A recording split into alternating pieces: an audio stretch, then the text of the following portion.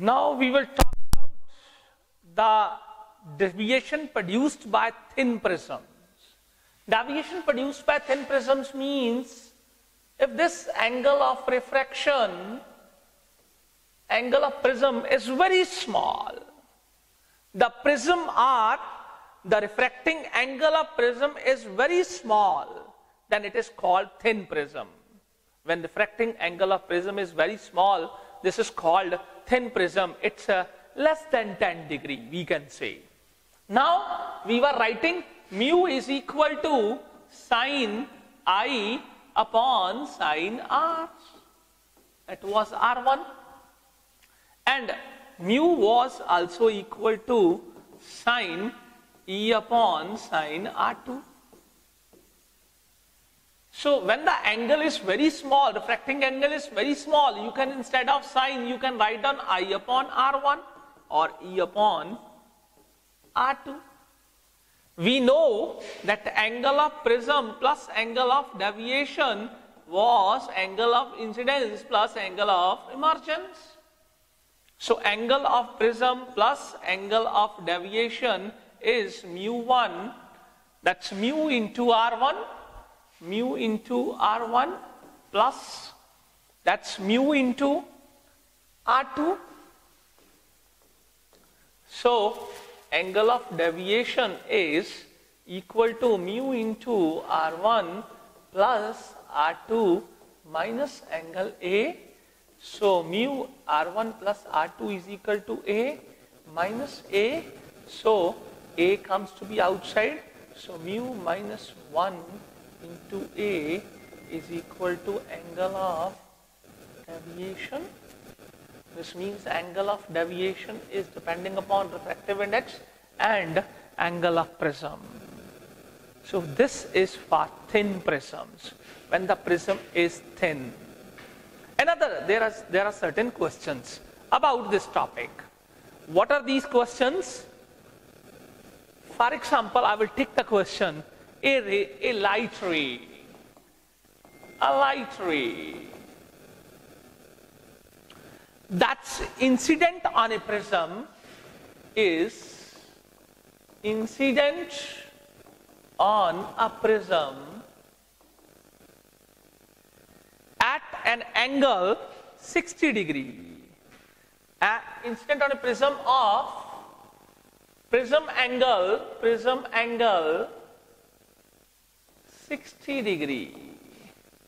What is producing a that's minimum deviation of producing a minimum deviation of 30 degree.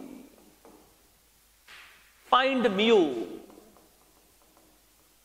Find mu. How you will find it out? You know that mu is equal to sine delta m plus a by 2 upon sine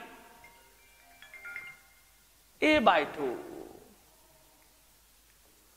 sine a by 2 so this becomes sine this is 30 degree plus 60 degree divided by 2 upon sine 60 degree by 2 because this angle prism A is 60 degree minimum deviation 30 degree 30 degree. So sine 45 degree upon sine 30 degree comes to be the mu Sine 45 degree value is 1 by under root 2. So 1 by under root 2 upon 30 degrees 1 by 2. 1 by 2. So 1 by under root 2 into 2 by 1. So it comes to be under root 2. So refractive index comes to be under root 2. So in this way we find out the refractive index. This is one of the questions. Second question is, according to this, array of light, a ray of light that is incident on the prism is incident on a prism. Mu is equal to cot A by 2 is equal to cot A by 2 then find the then find angle of minimum deviation we know that mu is equal to sine delta m plus a by 2 upon sine a by 2. This is equal to cot. This is equal to cot a by 2. Cot a by 2. So when this is equal to cot a by 2, you can write down, you multiply it with cot a by 2 sine a by 2 is equal to sine delta m plus a by 2. From here, this comes to be cos a by 2 upon sine a by 2 into sine a by 2 is equal to sine delta m plus a by 2 sine sine cancel out. So what remains? So if i solve this one these values then I am having cos a by 2 is equal to sine delta m plus a by 2. This is the value. Or you can write down it as a sine 90 minus a by 2 is equal to sine delta m plus a by 2 because cos theta is sine 90 minus theta. So sine sine cancel out. So it becomes 90 degree minus a by 2 delta m by 2 plus a by 2. This is the value. In this case, you can write down or we can took the means uh, this LCM of 2 so it becomes 180 minus a delta m plus a.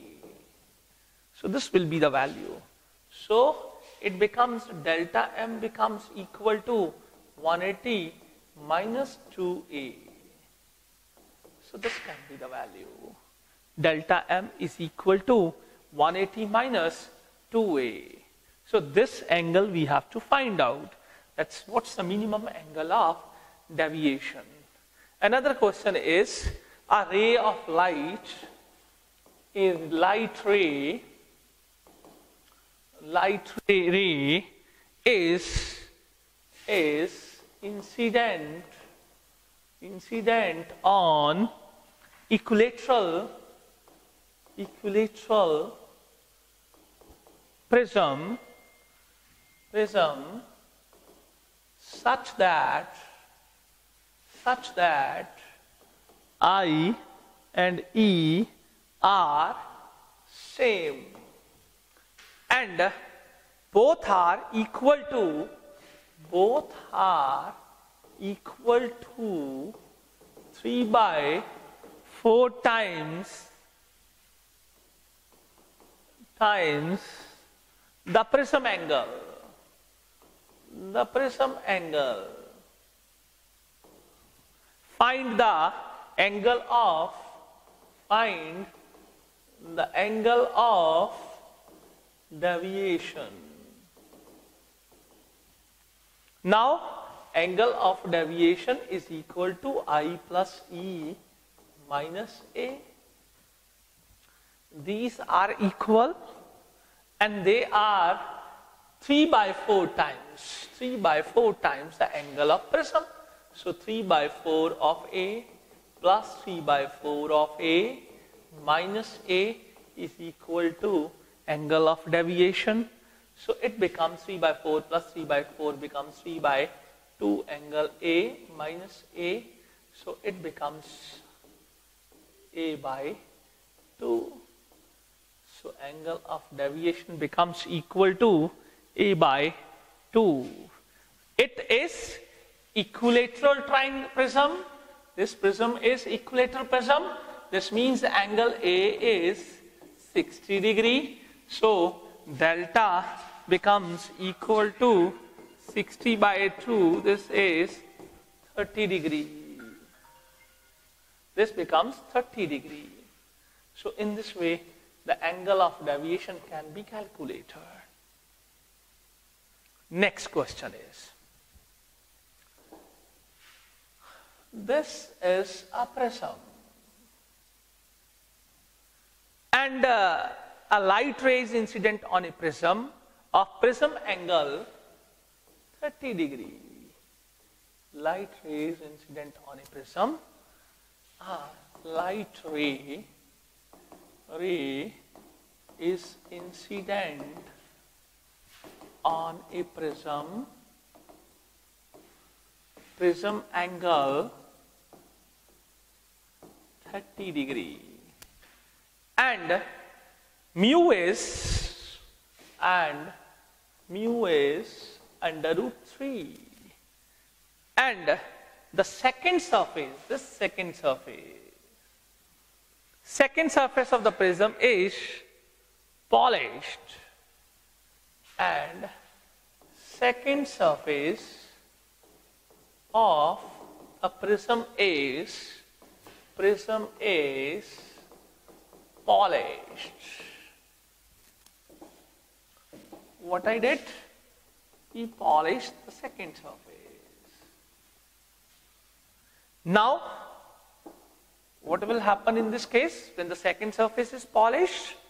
Now, the from the outside by which light ray it may retraces its path from which this is a normal I will draw. It is bending toward this side. The light ray retraces its path from which light ray ray retraces its path and find the angle of incidence. Find the angle of the angle of incidence. How you will find out it? Find it out. You know that angle of prism is 30 degree refractive index is under root 3 and angle of this one we draw over it. It strike on the surface it retraces back its path. It revert its path you can say. When it revert its path this angle becomes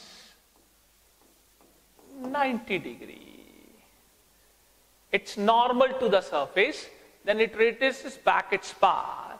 Now this R becomes equal to 90 degree. This becomes equal to 90 degree. So now we have to put mu is equal to sine i upon sine r. So when it retraces back its path, this mu is under root 3 sine i upon sine 90 degree. So sine i becomes equal to sine i becomes equal to under root 3. So i becomes equal to sine inverse under root 3. So when it becomes and the another is R is, this is uh, radius mass is path, it is straight, it will go plane surface, it will go plane to the surface, it is half of this one, this r becomes 30 degree, not 90, this becomes 30 degree. Sine 30 is equal to 1 by 2. So it will be sine i, this is sine i upon sine 30 degree is equal to under root 3. So sine, so this value becomes equal to, this value becomes equal to, we can write down it as sine i is under root 3 into 1 by 2. So it becomes under root 3 by 2.